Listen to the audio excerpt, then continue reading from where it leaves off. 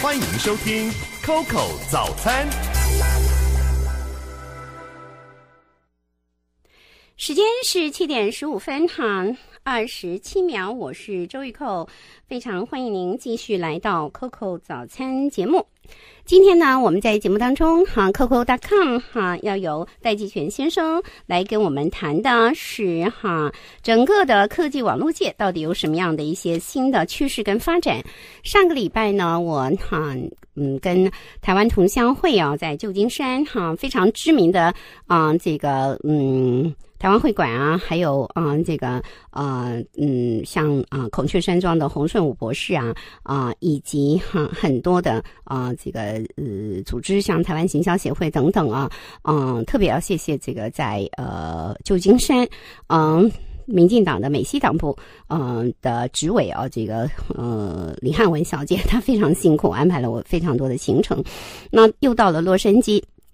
其实基本上，除了感受到台湾哈乡亲们的热情跟对台湾的政治和经济发展的热切之外呢，我也看了 Silicon Valley，也有机会跟 Stanford 稍微的不算是非常深入啊，在 Stanford 大学的呃台湾的同学啊，有一个短暂的见面。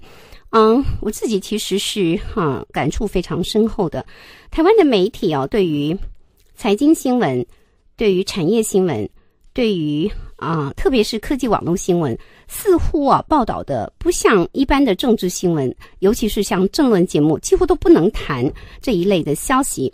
而这一类的消息，在台湾的政治已经确保自由民主，台湾的政治已经充分独立于专权独裁跟一个传统的历史包袱之后呢，其实台湾的经济发展、产业发展才是未来的命脉。因此呢，我们怎么样让更多更多的产业的新闻，更多的未来的趋势变成商业？也就是说，当 Silicon Valley 这件事情已经变成了大家关注的焦点之后呢，也希望未来在我们的节目当中多一点关于戏骨的报道。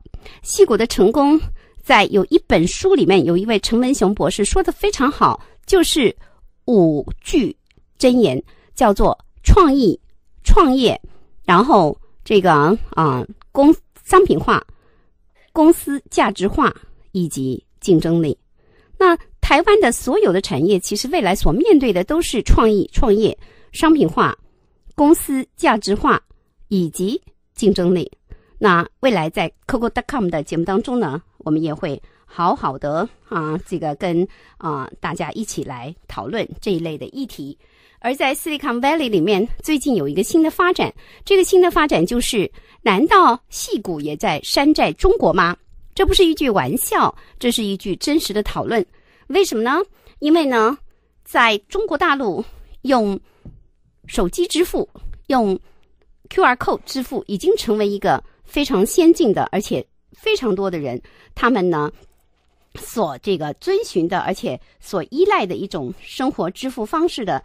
这个情况之下呢，我们发现不少人，他们哈在他们的这个生涯当中，已经用手机来决定他的支付的方法，已经成为一种生活的方式。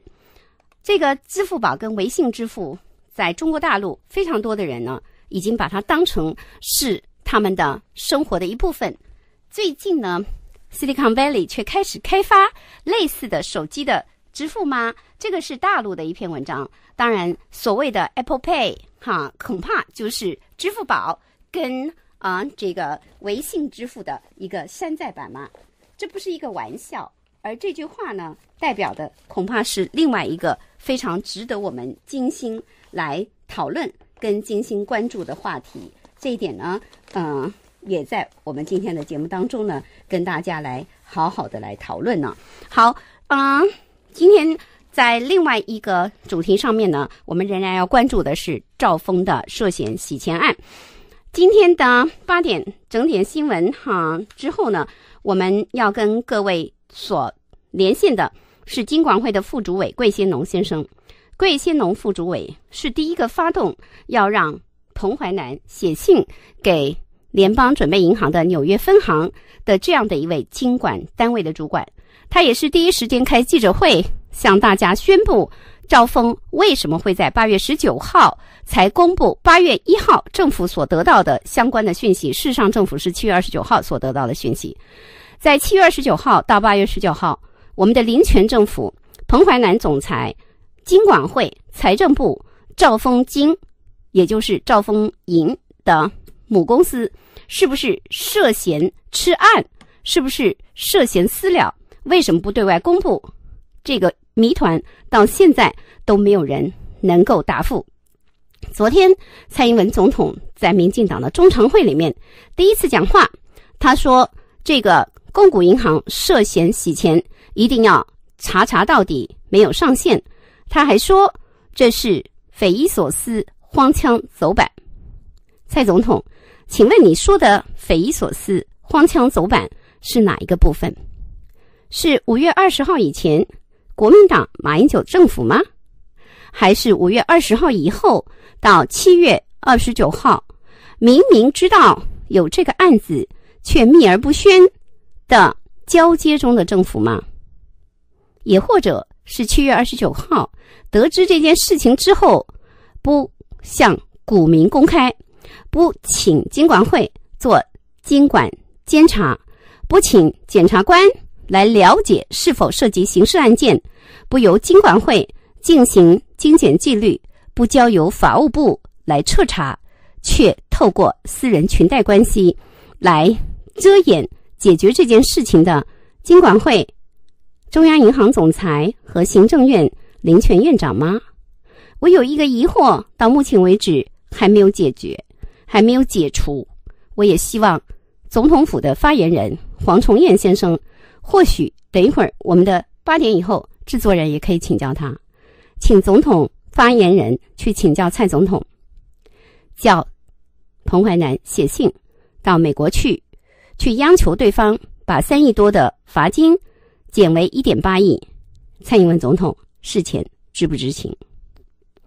如果蔡英文总统事前不知情，林权院长跟彭淮南总裁经管会是不是涉及蒙骗？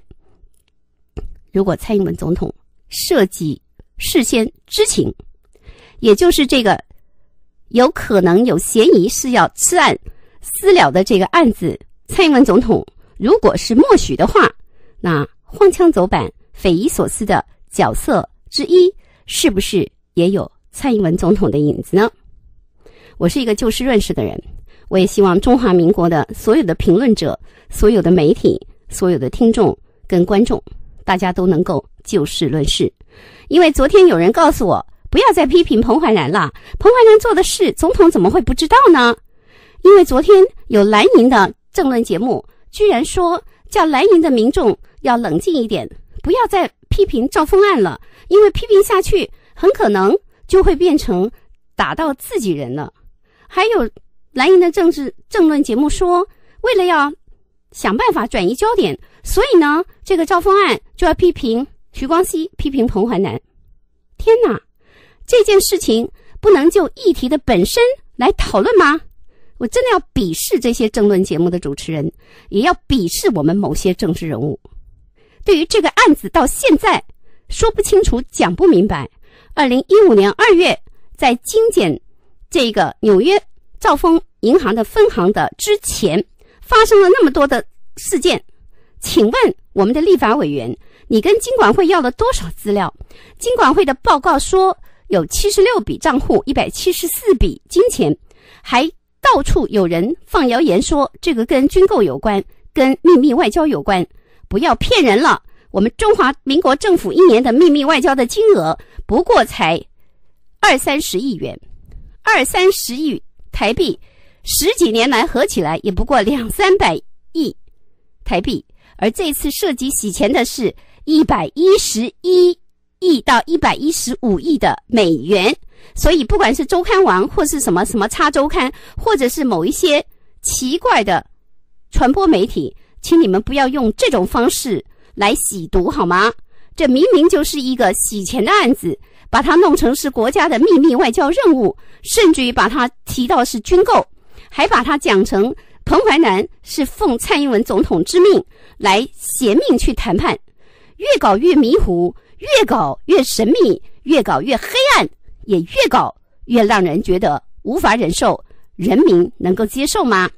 所以要请教总统蔡英文女士，你说荒腔走板、匪夷所思，到底是哪一个阶段？你为什么不把话讲清楚？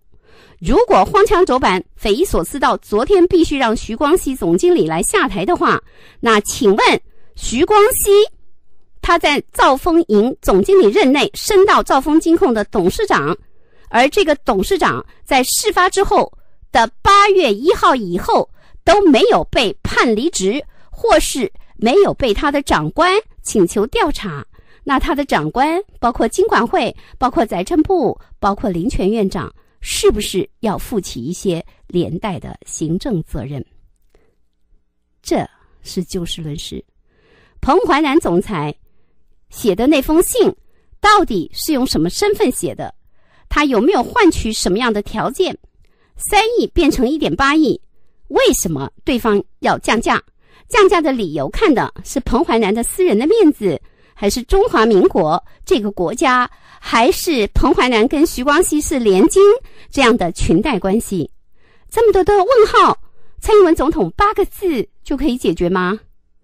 如果我是林权院长，我可能更想知道这些耶。林权院长说，今晚会跟他说，二零一五年纽约的兆丰分行接受精简。事实上，在这之前，两千零七年开始，兆丰的国际。美国的分行就受到了精简的质疑，而林权院长他居然全盘接受了金管会的报告。金管会的报告以密件为由不对外公布，对立法委员也保持部分的神秘。这是在掩饰犯罪呢，还是在以所谓的金钱秘密外交、军购作为借口来防止？外界对这件事情的查查呢？这一切问号在蔡总统的八个字之后更显得重要。